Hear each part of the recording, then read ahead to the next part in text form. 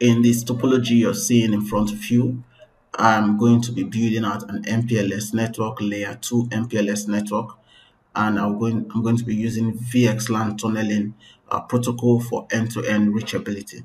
Okay, I've got uh, six sites here belonging to three different customers, and these customers have requested for end-to-end -end reachability. The customers are miles apart, and I have built out this MPLS network to allow uh, seamless connection. So the uh, topology you're seeing on your screen is made up of three different parts. The first layer is the IP layer that is powered by OSPF. So I have OSPF running on this network uh, between uh, the PE uh, devices. I have OSPF running here. So I have loopback interfaces on all of the PE and the P device. The P device is actually the core so I have OSPF running on them. After that, I'll have MPLS enabled for end-to-end -end reachability over the IP network. And then we'll have VXLAN tunnel built over the MPLS network to allow customer A to be able to reach customer B and uh, to allow customer A site 1 to be able to reach customer A site 2 and so on and so forth. So to uh, ensure that we do not run out of um, physical ports on our devices. We are using uh, VLANs uh, on this um, uh, uh, uh, connection. We are using um, VLANs for this connection. So there's going to be two VLANs each on each of this uh, PE device connecting to uh, the switch. Okay, so there you have it. Uh, it's going to be fun. If you're yet to subscribe to this channel please subscribe. Also like this post comment and turn up your post notification. So to make sure that this video is not too long i'm going to be breaking it into two parts the first part has to do with the ip addressing of the entire uh, topology okay the configuration of ip addresses loop back and WAN ips and also the configuration of ospf and MPLS LDP neighbor relationship. After that, then comes the part two, which has to do with VXLAN configuration and reachability test. You do not want to miss any of this. So please make sure that you watch the video till the end. And if you have any question, please leave it in the comment section. So first, I'm going to address the interfaces. I'm going to configure the WAN IPs and the loopback IP addresses. I need the loopback IP addresses for my OSPF neighbor relationship and my MPLS LDP neighbor establishment. So the first thing to do is to log into the router. I'm going in via the command line interface. I'll be using a mix of both the command line and the uh, GUI for this lab.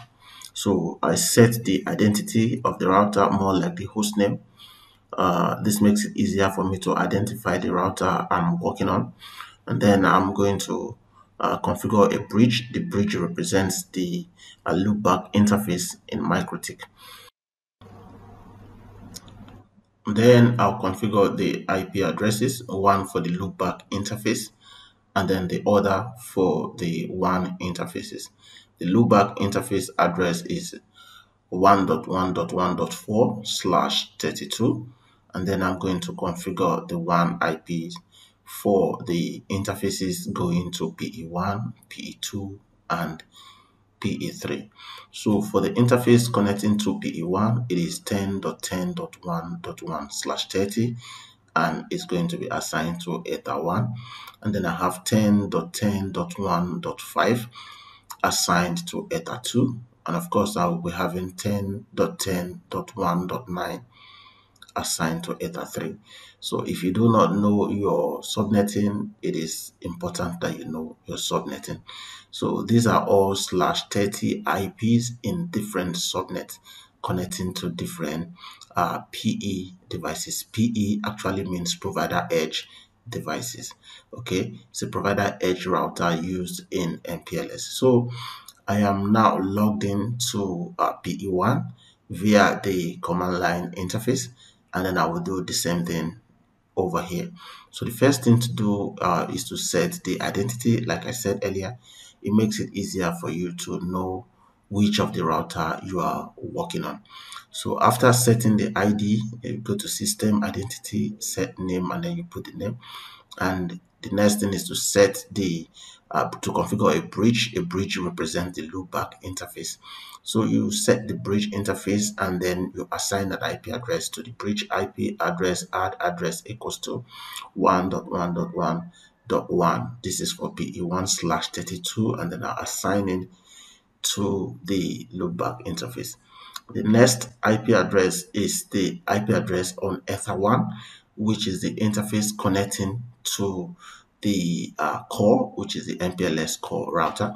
So um, give the IP address as 10.10.1.2 slash 30 and the interface is Ether 1.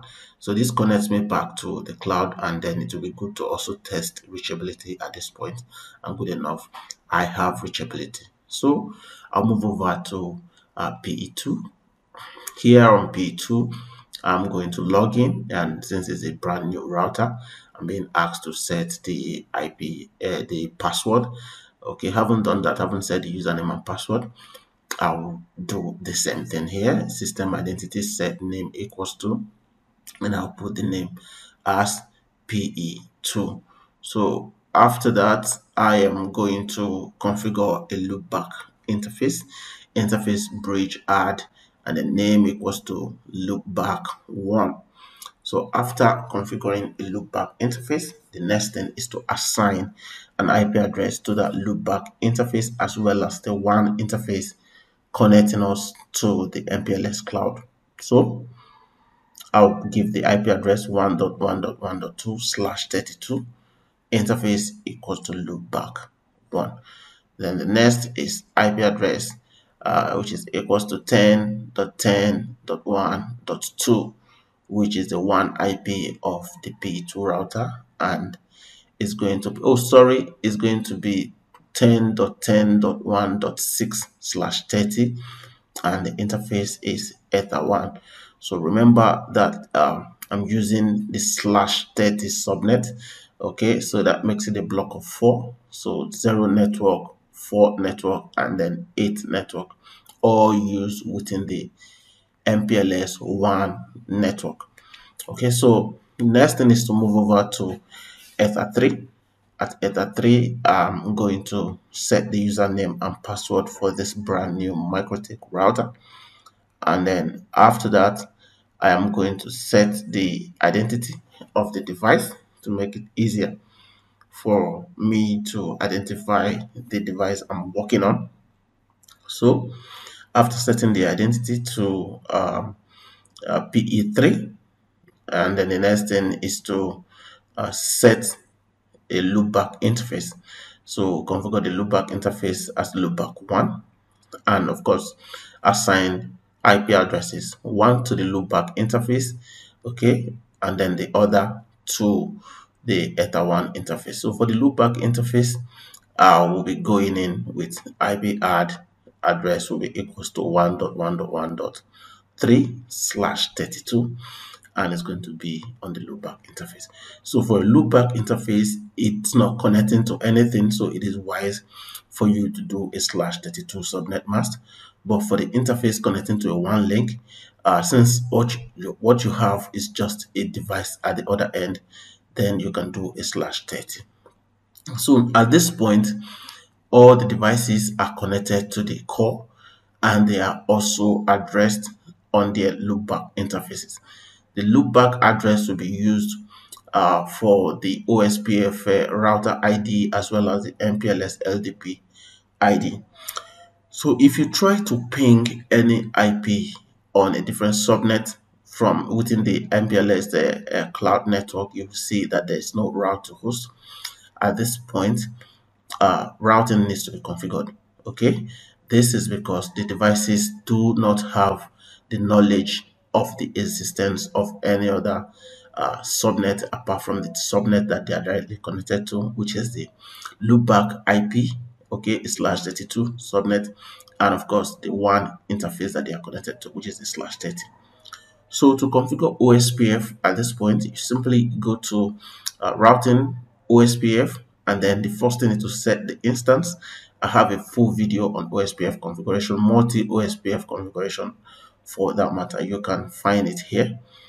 Okay, so you set the instance name and then you set the area name. The area should reference the instance that you've created earlier. And then after that, you set the interfaces that should participate in the OSPF routing uh, process. So when you go to interface template and then you add, so you pick your interfaces. I'm going to be advertising the loopback interface as well as the WAN interface okay so the first is the loopback interface i'm going to put it in area zero i'm doing a single area ospf in this case so the next is to go back and advertise the uh, ether one interface which is the WAN interface okay and it's still going to be in area zero. This is because i'm doing a flat area uh, ospf uh, uh, process. So i haven't done that. I'm going to move over to uh, the next router to have the same process done. So at the core, uh, I have uh, three WAN interfaces and I also have the uh, loopback interface. So I'm going to be advertising all of them. So the first thing I'll do is to go to uh, the OSPF uh, uh, uh, process domain where I'm going to be configuring the OSPF. So I'll go into the OSPF menu by typing routing OSPF and then I'm going to create the instance by saying instance add and set the name for the instance to instance one. You can use any name for your instance. Uh, like I said in my previous video, OSPF instance is locally significant but globally insignificant. What it means is that I can use instance 1 here and use instance 30 on another router and it will work. So having set the instance, the next thing is to configure your area and since I'm doing a single area, I will just put this command once. So it's going to be area add name area equals to area 0 and then area ID area 0 and instance or reference the first instance I created. After that, I am going to uh, advertise my interfaces by going into the interface template, add interface, and then I'll start with the loopback one interface, placing it in area zero. I'll do the same thing for the Ether one interface, and I'll place it in area zero. And I'll also do the same thing for Ether 2 and Ether 3. Okay, OSPF is an industry standard routing protocol that is available on all OEM equipment that handles routing. And it is very, uh, very efficient in routing. And as you can see here, we already have a neighbor relationship to um, uh, our first uh, PE1 router, which has the router ID 1.1.1.1. Okay, that address is the highest loopback address on that router. So automatically it became the router ID for the OSPF routing process. So we'll move over to router 2, which is the PE2, and do the same thing. Okay, go into the OSPF uh, menu and then uh, enable our instance, which is instance 1, and then Next thing is to configure your area. Go into the area submenu and you add the name equals to area 0. You can use any name, but it's good to use area 0 so that it matches with the area ID, which is area 0. And of course, reference the instance you have created earlier. So after that, the next thing is to uh, go to your interface template and there you can advertise your different interfaces that should participate in OSPF. I like the way MikroTik has done this. It makes it easier for you to set up OSPF quickly. Okay, so I'm doing for Ether 1 now. So haven't done that for Ether 1. There should be a neighbor uh, relationship at this point to the MPLS core router. So move over to uh, Ether3 to have the same thing done as well.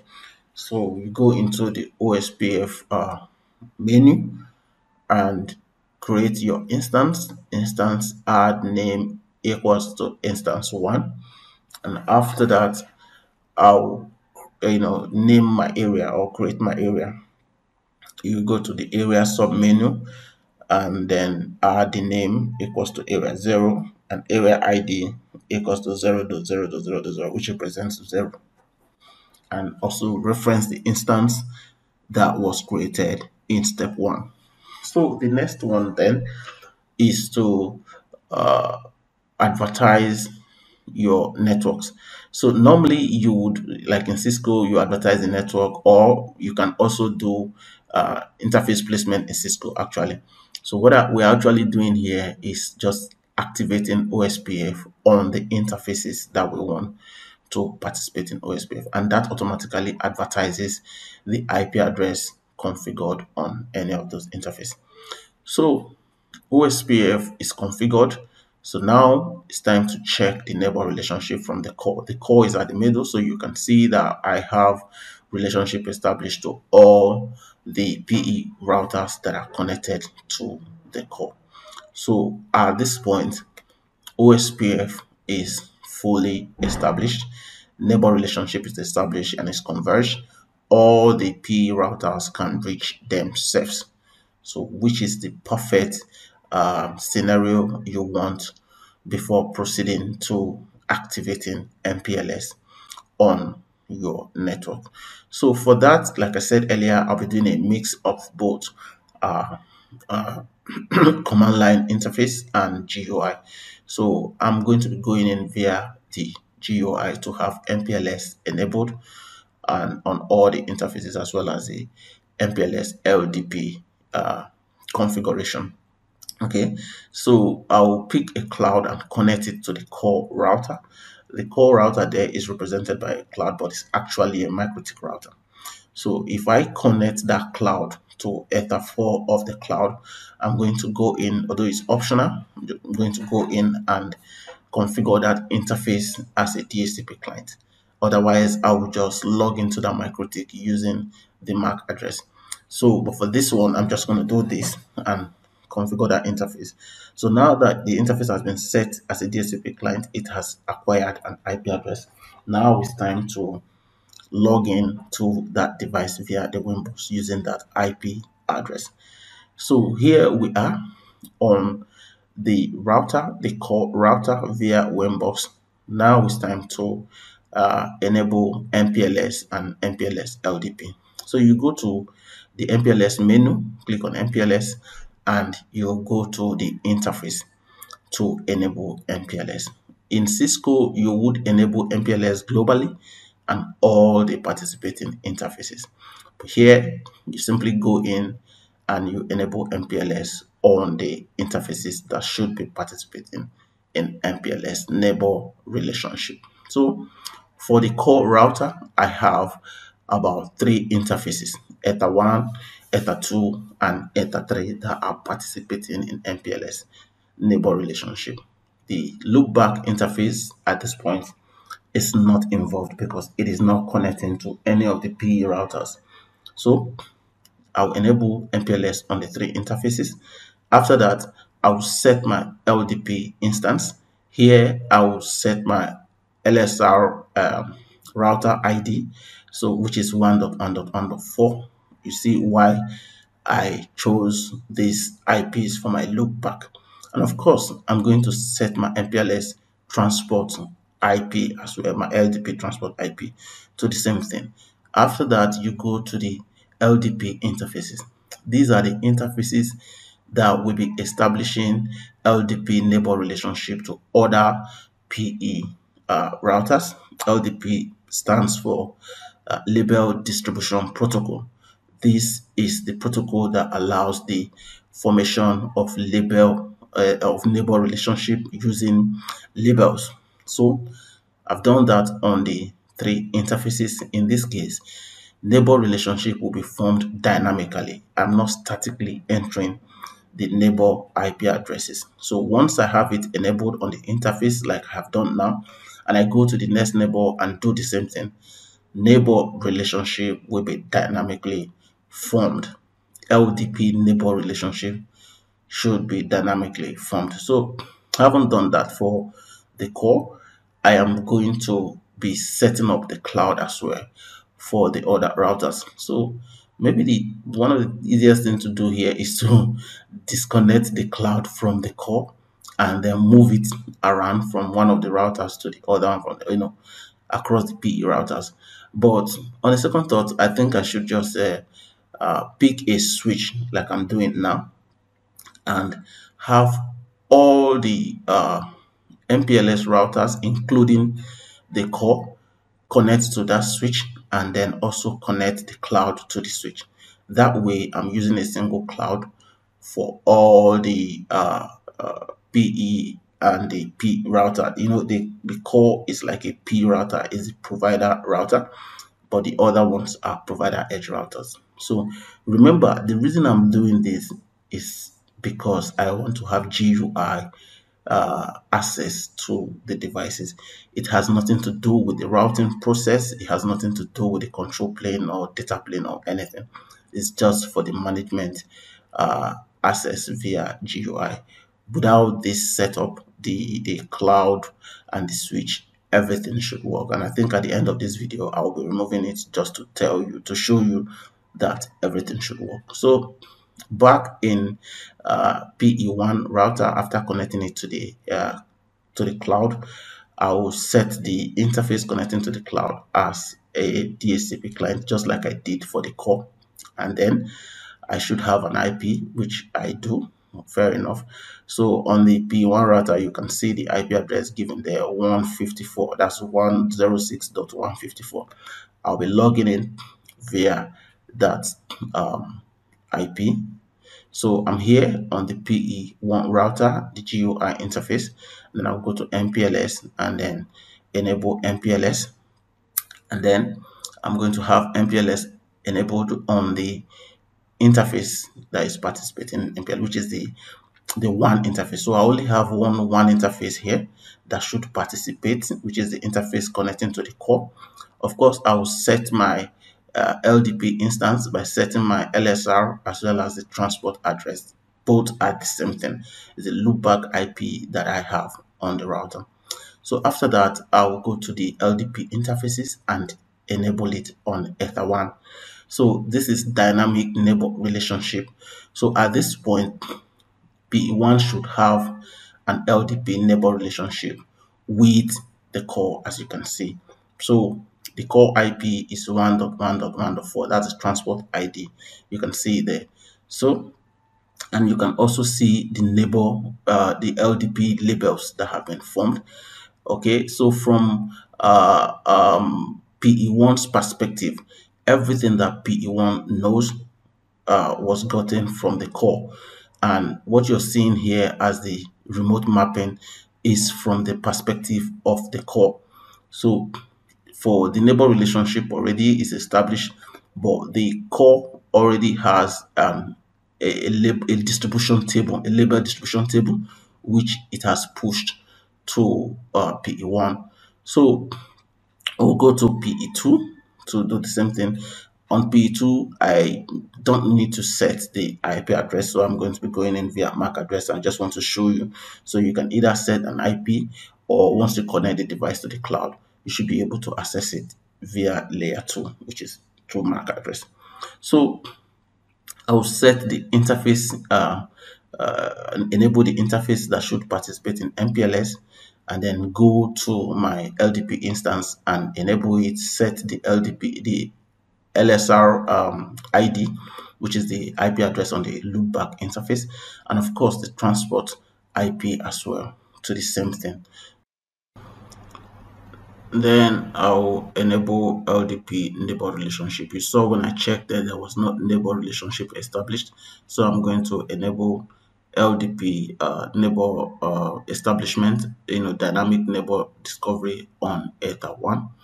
Then after that, uh, we should have a neighbor relationship uh, between this PE uh, device and the core okay as can be seen there is already established. So we'll move over to the uh, next device which is the PE3 which is the last device in our MPLS uh, network. Connect to it via MAC address okay using Winbox. So here we will repeat the process but I'll show you uh, something interesting here. So go to the MPLS interface and enable MPLS on Ether 1 and then go to the uh, LDP instance uh, enter our LSR okay which is the uh, the same IP address as the loopback IP on the that device.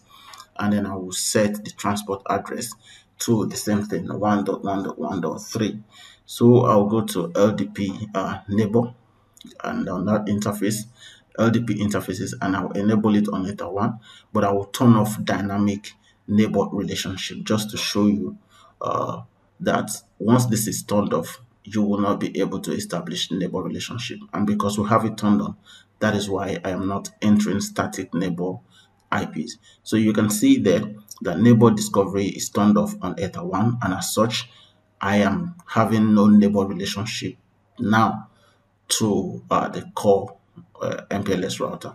So I would have to manually enter the IP myself if I want to establish that neighbor relationship. But because I don't want to do that, so I have it uh, uh, disabled now back to what it was before the default setting. So now we have MPLS neighbor relationship to the core router. So here you can see the mapping, okay, from the core perspective uh, to reach the networks that are directly connected to the core. You don't need a label, okay? So because it is called the pen ultimate hop popping. So the router already knows how to get there. But to reach other loopback interfaces, you need a label.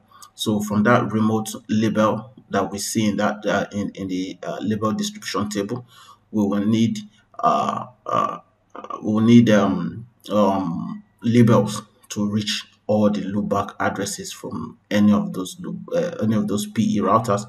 But all the WAN networks, you don't need a label for that. So which shows that if you're doing your test, which I will do uh, shortly, we are not using MPLS to reach any of those uh, WAN IPs. But if you want to reach the loopback IP from PE1, say you want to reach PE3, you will have to go through the MPLS network. So if I do a trace from any of those uh, PE devices, you will see them. So as you can see there from uh, where I am now, which is uh, PE1, to get to uh, PE3, I'll need a label which is label 18 and of course label 17 to get to PE2. Every other uh, subnet there uh, is reachable via the IP network. So as you can see, to get to PE1, uh, and I think I'm on PE3, sorry, to get to PE1, I had to go through label uh, 16 okay, which shows you that I'm using MPLS to do that.